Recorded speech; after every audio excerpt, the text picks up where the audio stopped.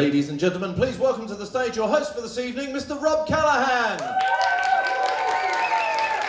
Good evening. No, it's been spared, that was me. Uh, how are we all? Are we well? Yes, good.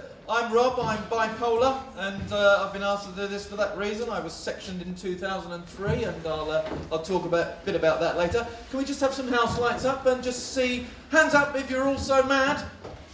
Excellent, where are the carers? Excellent. So there's only one normal person, and it's you. No. Um, welcome along. Give yourselves a round of applause for coming out and supporting such a great show. And, and I should also say hello to our viewers on the uh, World Wide Web out there. Hello. Hello! Hey, wave everybody. Do your hair. Yeah. Um, hopefully they've got some clothes on. Good.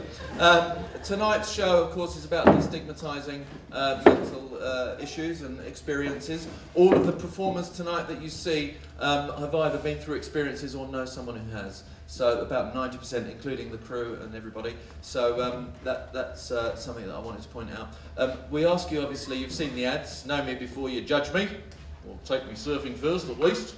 And, uh, you know, but tonight, we do want you to judge us um, because we want you to judge us on our creativity and our performances. And at the end, we're going to have a little award ceremony for ourselves so we feel even more special than we already are. yes.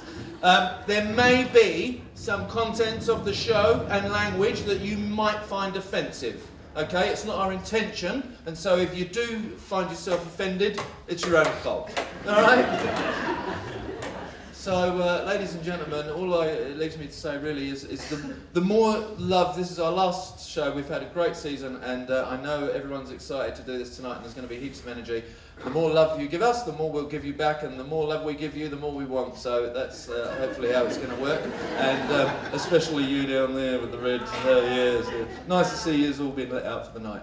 Now, it leaves me um, only one thing to do, and that's to introduce the third act. Ladies and gentlemen, please put your hands warmly together for Madophobic, ladies and gentlemen.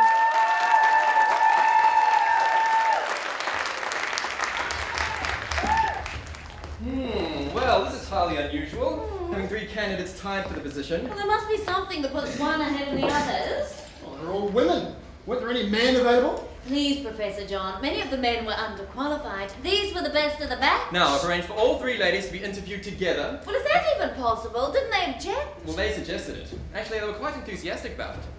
Look, I think I must mention a possible problem I heard just now as I came in. Oh, can it wait? They're waiting outside? Well, there's something about these three. Well, these three here. Yes, one of them is, well, you know, What? An Indian? no!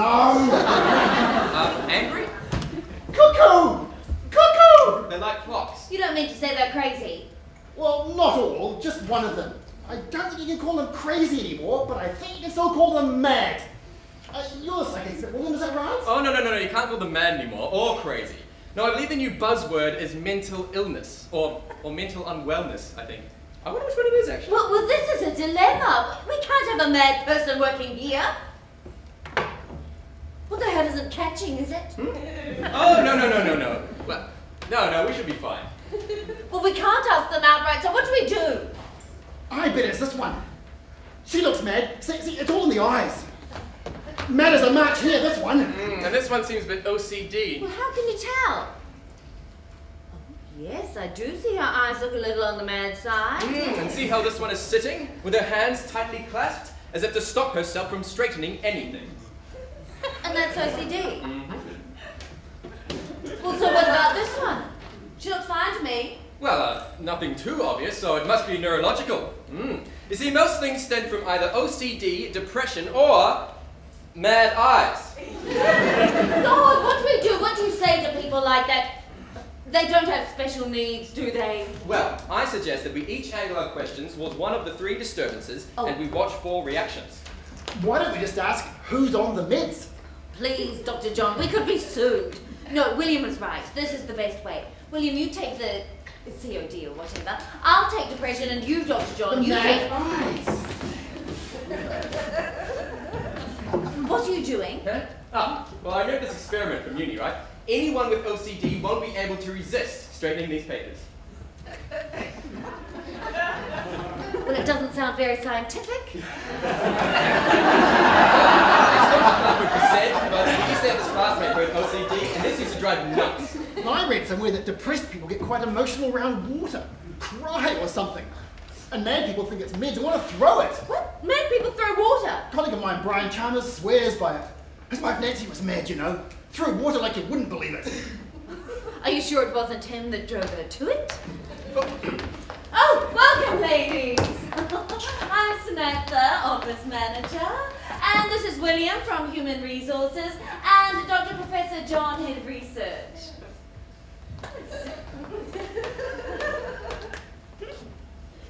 well, thank you for coming in together. You okay there? Yes? Hmm. We just need to ask you a few questions individually. Ah, Dr. John, why don't you start? So, Evie, what a mad kind of a day, eh? Being uh, cooped up here in this uh, small room all day makes me feel quite mad. Sorry, what is the question? How mad would you feel working in a small room all day? Well, this is not exactly small. How small a room have you been in? Well, Was it padded? the chair that you sat on in the small room. it was a ticket booth, and no, it wasn't padded. Okay, thank you for that, uh, Professor. um, Della, uh, how do you feel? Well, not mad if that's what you're asking.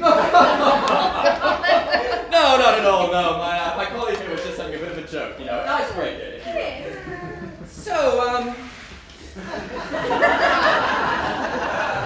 you don't uh, feel like touching? Touching what? But the, the paper, it's, it's a little crooked. Didn't like it crooked, eh? Sorry? Would you like to straighten the others as well? Is that all right? Oh, perfect. Well done. Now just so you can see now.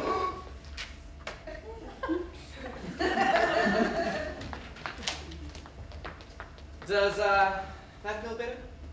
What, the paper being straight? Yes! Oh, fantastic. Good job. May, I've noticed from your CV that you haven't worked anywhere for quite some time. No, after my father died, I promised him I would go to Africa to help with the orphanage he had built. Why is he doing that? I have no idea. so, with your father dying, that would have affected you quite madly. I mean, badly. Well, yes, of course, I was very close to him. But Africa helped and it gave me a better sense of Oh, of course, new place, new lifestyle. That would have made you really excited about life again. You know, people starve over there. They like die. Of course, you were depressed, and that's why you went over there to join them, and that's where you got your limp too to remind you of their pain. Oh, that is beautiful. Excuse me. I can't help thinking that you three are on a witch hunt. What on earth do you mean? Why are you asking us these weird questions, and what is he on about? Tests, I'm doing tests. On us. Yes. No, no, No. no. Oh, oh, the work that we're doing here is, is tests with, with water and. Why? Does that make you feel mad? It makes me wonder what kind of people I would be working for. What kind of people we are? We're trying to find out which one of you Which have actually one got. what? Well, which Which one? one is mad? mad hands, uh, uh, mad eyes, and you are just mad! Oh, just regular mad. Well, not sure about the limp, mad feet. Uh, what my colleague here is trying to say is that uh, One of us is mad, and you're trying to find out which one by using a range of questions that might expose our possible mental unwellness. uh, Samantha. We were trying to find out whether or not Look, you we can't have someone mad working here. Oh, it sounds like you have too many already. We were trying to find out whether or not you could actually handle the workload. Know your boundaries. Better than anyone, even non-mad people. We need to feel part of life and living. Working is essential to feeling part of the bigger picture. Yeah, being shunned and isolated creates division, ignorance, and fear in us all.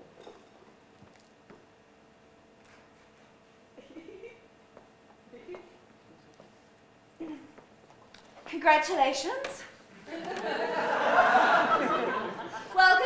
Welcome to Ackland Dean, Harbour and Dose. ADHD for short. Uh, we will just go and get the contracts for you to sign. It is. well done, ladies.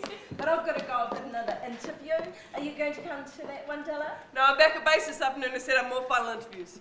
Are you sure you want this job, mate? I mean, get a load of the old guy. Yeah, they seem like the maddest ones I've ever come across. It's fine.